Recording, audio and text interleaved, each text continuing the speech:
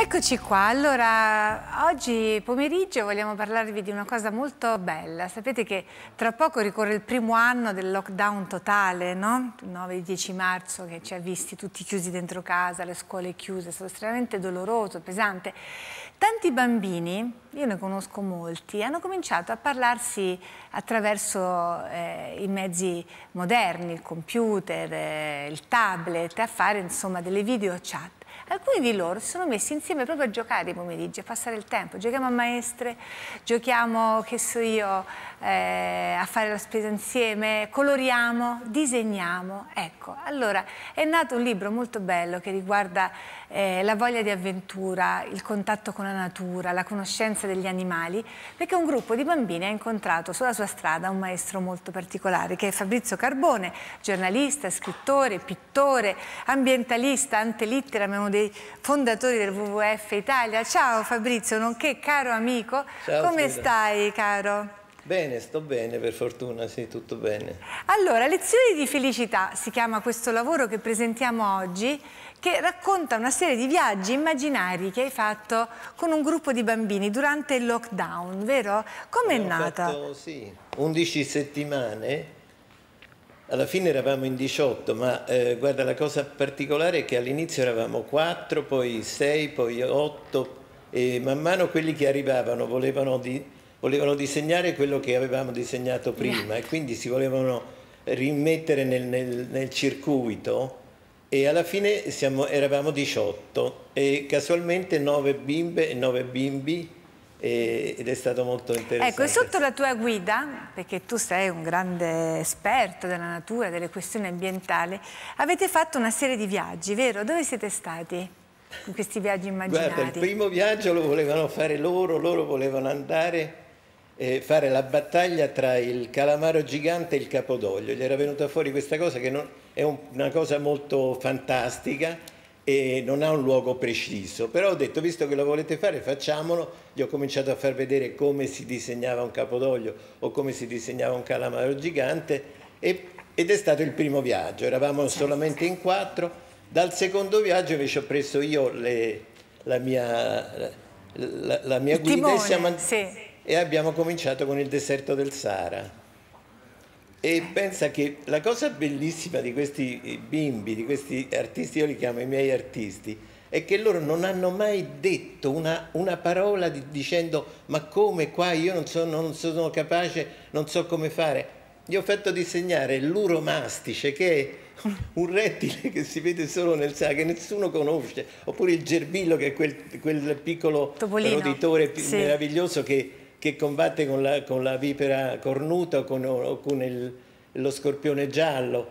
E, capisci? Ma loro Si sono lancia- buttati, non hanno mai protestato. Abbiamo fatto anche delle lezioni che sono durate due ore, è stata una cosa incredibile. Perché le guarda. lezioni non erano solo di disegno, erano anche di zoologia, no? Di Di geografia, di, tutto, guarda. storia. Prima, prima vedendo il documentario bellissimo sulla Patagonia, Sì. quando si ve- vedeva la balenottera comune, che è l'animale più- che sia mai esistito, più grande del mondo, con loro abbiamo discusso di balene, perché siamo andati anche a vedere le balene in Alaska e io gli ho detto ma secondo voi perché una balena così grande si chiama balenottera? E loro non, non capivano la cosa e poi gli ho detto guardate che la parola latina è balenopterus, per cui la, la- la traduzione letterale balenottera è sbagliata. E loro hanno detto, ma sì, è sbagliata, tutti contenti a dire che è sbagliata.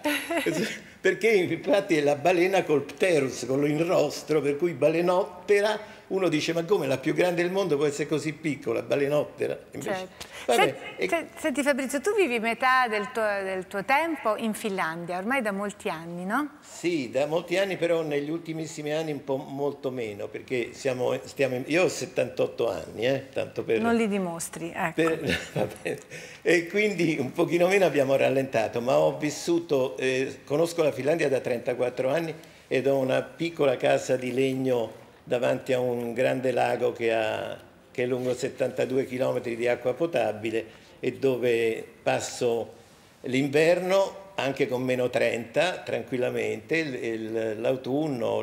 Ecco, com'è il mondo visto da lì? È, è particolare, intanto i cambiamenti climatici sono molto evidenti, sono molto forti, si vedono moltissimo. In che e cosa? pensate anche in questi Sì. giorni, io guardo continuamente le temperature, abbiamo avuto delle temperature intorno ai meno 27, meno 28, che non è quello che c'era un po' di anni fa, ma poi in pochissime ore passa a zero, a più 2, quindi ci sono 30 gradi, a volte anche di più di, Di in escursione. 24 ore, in 30 ore di, di- di mutamento pazzesco. Certo è un mondo pieno di animali, noi nel giardino, eh, io e Patrizia che tu conosci, mia moglie, abbiamo il gallo cedrone che viene in giardino, abbiamo l'alce che viene in giardino, eh, è un, insomma... Ecco, cosa ti preoccupa di più del futuro per il pianeta? E cosa invece ti dà più speranza, caro Fabrizio? Guarda, cara Sveva, a me, eh, a me preoccupa, preoccupa. Io vedo come aumenta la popolazione umana. Noi siamo l'unica specie che aumenta in modo spaventoso rispetto a tantissime specie che invece stanno in estinzione. Noi- stiamo vivendo una grande estinzione di massa, mentre noi, specie Homo sapiens sapiens, ogni cinque giorni aumentiamo di un milione. Stiamo arrivando velocemente agli 8 miliardi, velocemente, e pensavamo un po' di anni fa, ti parlo che quando io lavoravo a Panorama scrissi diverse inchieste sulla popolazione, si diceva che mai saremmo arrivati a 7 miliardi, non ci saremmo mai arrivati e eh, quello, il professor eh, Herrick che parlava di queste cose e aveva previsto, sbagliando di, in meno, aveva previsto questo aumento dai 7 miliardi, l'avevano preso per pazzo.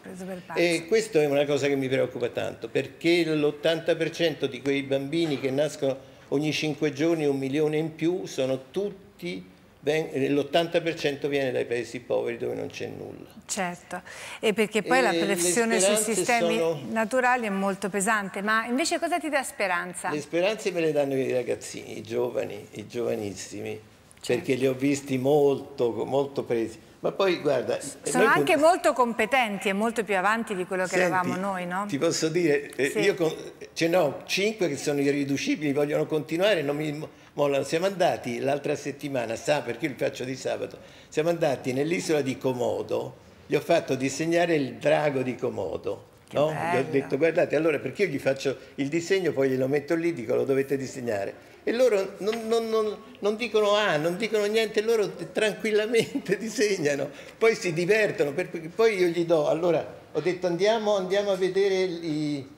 gli uccelli del paradiso. Ho detto guarda scatenatevi e fateli come più vi diverte fateli anche creativi fateli inventateli. E loro fanno delle cose fantastiche però sono competenti, sanno le cose, non mi dicono mai ma questo animale è pericoloso, però io, loro lo sanno, dico ma voi lo sapete qual è l'animale, la specie umana, la specie più pericolosa del mondo? È l'uomo. L'uomo, L'uomo è la specie più pericolosa. Purtroppo è Quindi, così. Purtroppo è così e loro sono bravi.